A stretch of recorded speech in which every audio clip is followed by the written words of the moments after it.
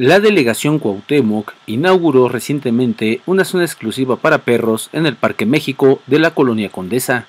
El área canina de este enorme jardín es una zona única que incluye un sanitario especial para los desechos de las mascotas y varios bebederos que son utilizados libremente por los canes. El área exclusiva para perros cuenta con mil metros cuadrados y está delimitada por una reja perimetral para seguridad de los animales. Sin embargo, los dueños de las mascotas han extendido el territorio a todo el parque.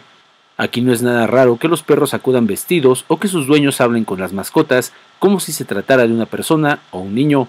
Incluso las celebraciones de cumpleaños de un perro con todo y pastel no es nada extraordinario. Su cumpleaños, que me dijeron el veterinario que donde la de donde la tengo, me dijo que nació el 15 de mayo.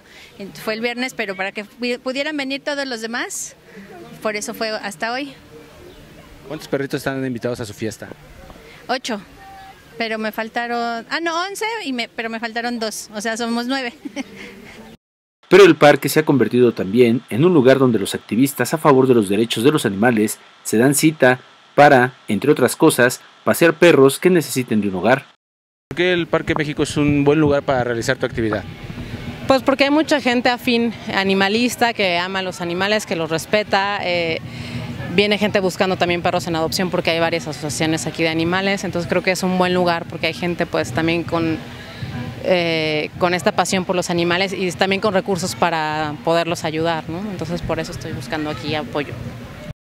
El horario de funcionamiento de este parque es de 7 de la mañana a 10 de la noche de lunes a domingo. Las mascotas pueden andar sin correa, pero siempre bajo el cuidado de sus dueños. Reportó para Noticieros Nuestra Visión Antonio Aranda.